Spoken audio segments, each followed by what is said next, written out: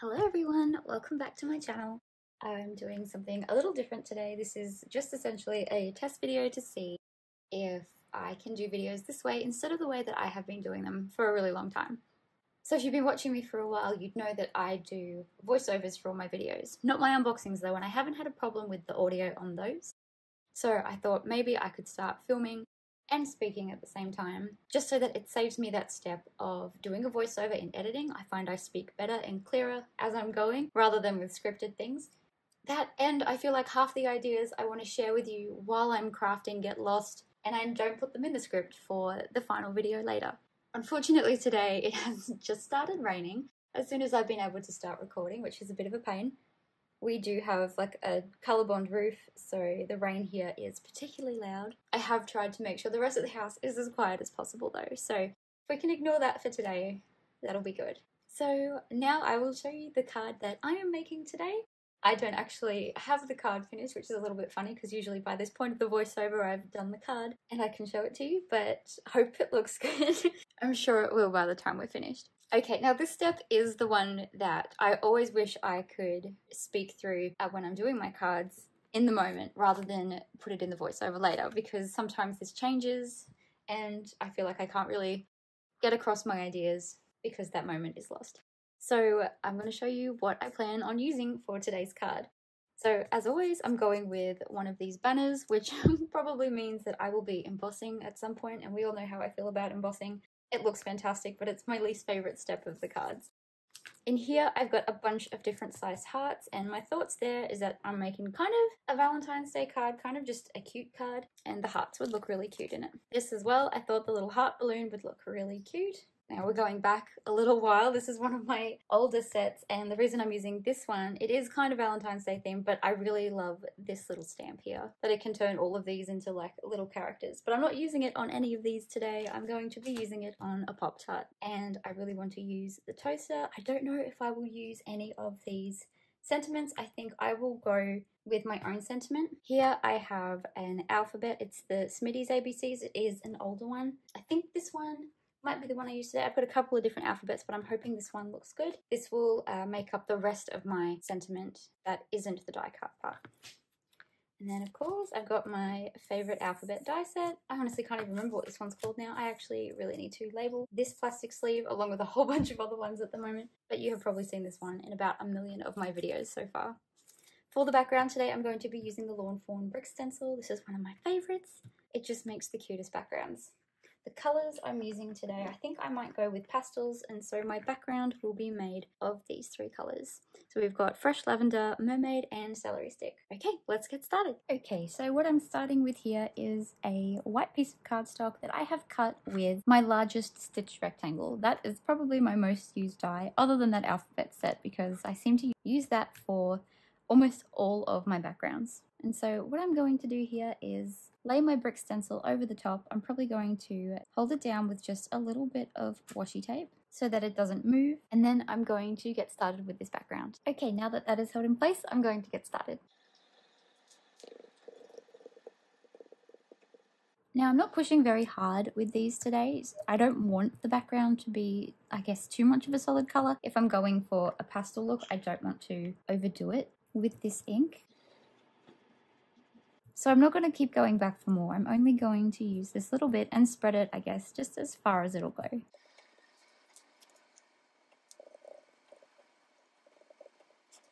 I don't find Lawn Fawn inks to be too bad at blending, but I'm not going to, I guess, force them to blend together too much. But I will overlap the edges just a little bit.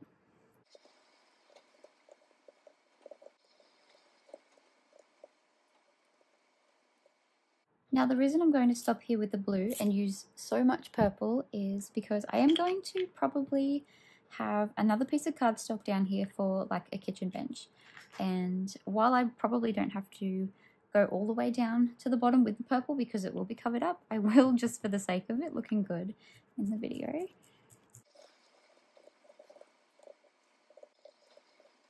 Okay, that did move a little bit there, but I don't think we're going to have any problems.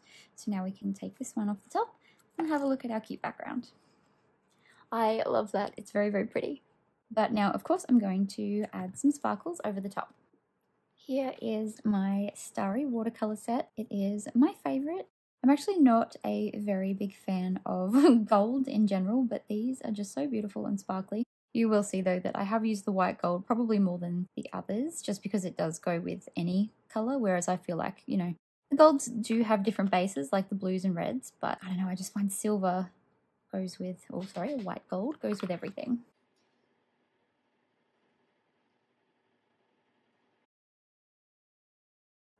And while that dries, I'm going to go wash my stencil. Now dry and that is what it looks like.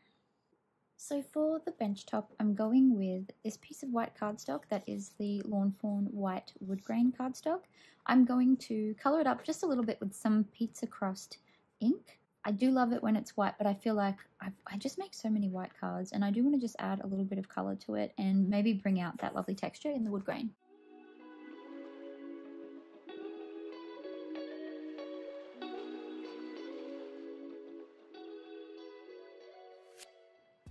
So what I'm going to do now is just stamp out all my images ready for colouring.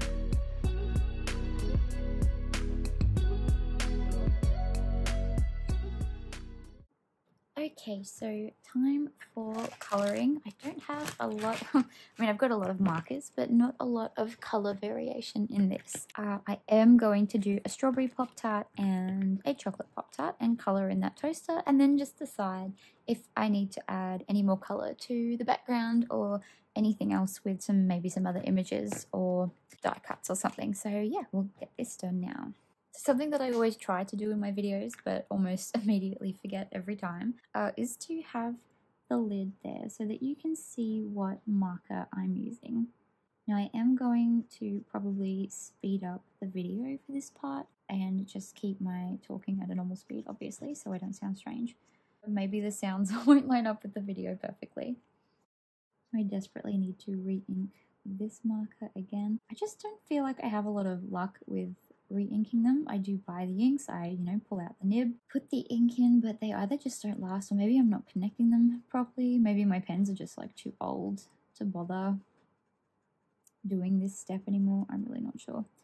There we go. I'm not going to use that everywhere. And I'm just going to blend these together. I would love to know in the comments, do you like Pop-Tarts? And if so, what is your favourite flavour? Rearranging myself on the chair because I'm short. I need a better view of what's going on. I think these ones might do well for the outside. So let's give that a go. These are new to my collection.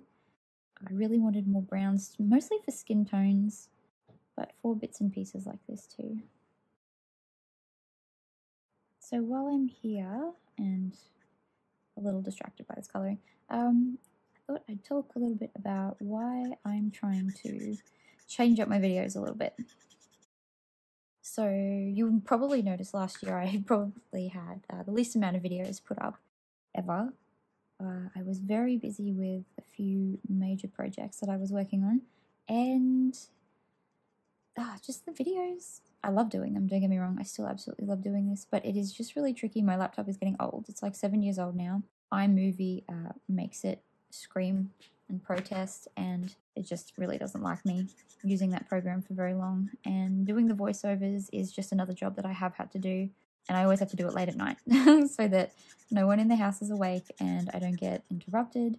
And it was just getting exhausting really. And I don't know about you but I like card making to be fun. I don't like it to feel like a job. So I think that's where I was losing a lot of the love for it was it was just feeling like so much work I wasn't finding it as relaxing as I used to at the beginning when I was sharing, you know, at least a card a week. That and I was just getting busy with so many other things. So I'm hoping that if I get to talk to you through the video, rather than having to go back later and do a perfectly worded script, that maybe these videos will just come across like a little bit more genuine and fun because that's how I want them to feel.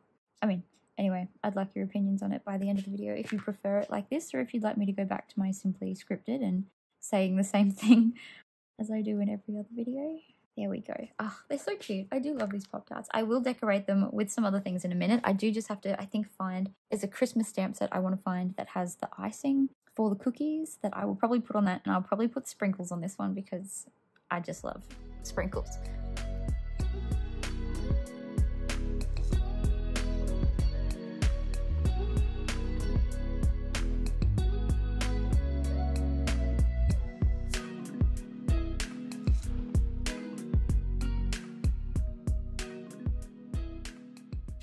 Do that like a hundred times per video. I think I actually edit that out most of the time that I pull the cap off the wrong way. So silly.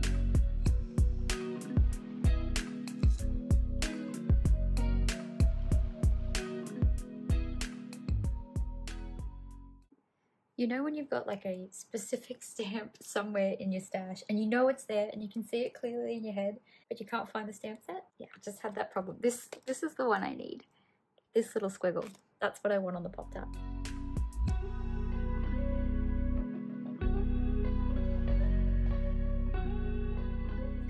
So like always, I remembered to grab my anti-static powder. Forgot to use it. So I do have just a few little flecks hanging around that I can hopefully get off before I melt that powder.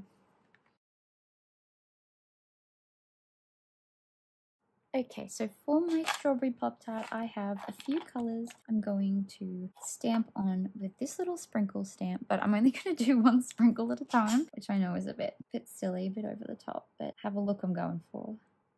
And I just want to get it right. I don't want to give him like cranky eyebrows, so I can't really do the sprinkles. I'll just do two of each colour for now, and then I will just fill in the gaps with whatever looks best. Oh, nearly lost a finger. I've done that a couple of times. Have you ever done that? Getting your fingers pinched between those magnets? I think, yeah, it has literally pinched skin off. They're so intense. But I did see this trick to add like washi tape to them so that you can pull them apart easy once they do that because they do like to cling together quite tight. It won't save your skin, but at least it saves time trying to pry them apart.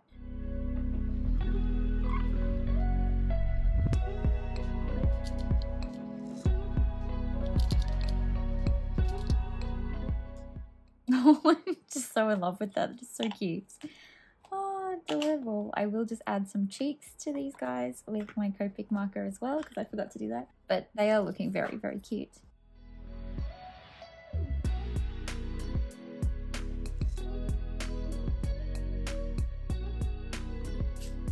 Okay, now it's time for white highlights. Today I'm using the size 1 and the 0.8.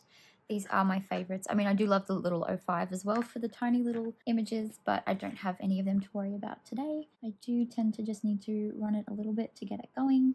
And then I just add lines wherever I think light would hit it. Um, and then some little dots in the shadowy area. I guess it just kind of ties things together. There's no real need for it. It's just a, a preference. I just like the way it looks.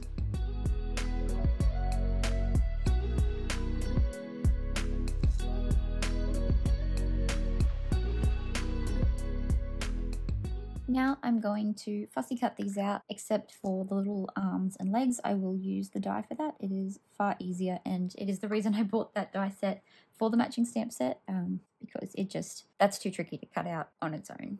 It's so much easier using that one. So I'll have all of these cut out and then we can start arranging our scene. Now that they're all cut out, I am very quickly going to assemble them with some glue so that they're ready to play around with on my background so we can work out where we're going to stick them.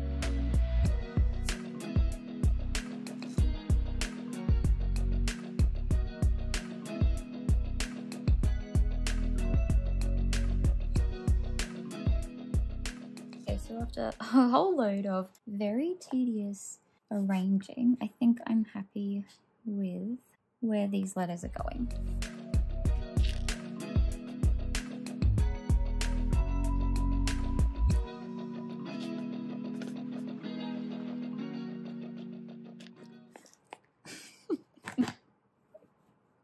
So I don't know if you noticed what I just did there, but there was like a tiny piece of fluff stuck to that ink and I tried to blow it away, uh, but it just blew all the letters away instead.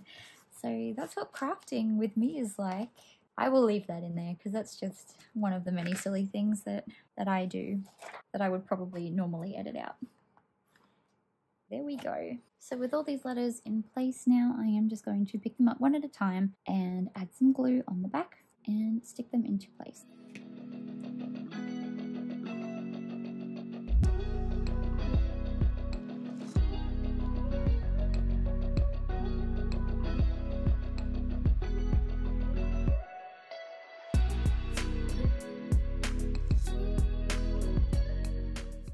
Okay, now that I've given them a second to dry, I'm just going to add some white highlights to these letters.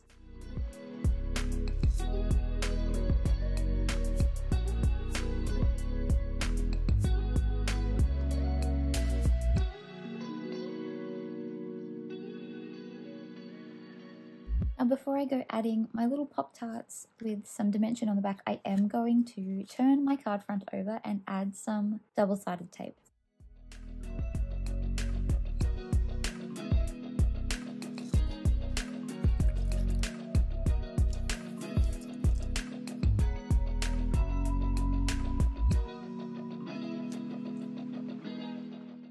There we have it. This little card is complete. I love it. I think it turned out so cute. I'd love to know what you think about it in the comments below.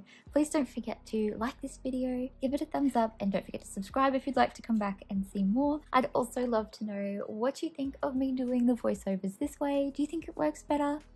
I'll give it a couple more goes before I decide what I want to do. I'll leave you with some photos of the finished card. Thank you so much for watching. Bye for now.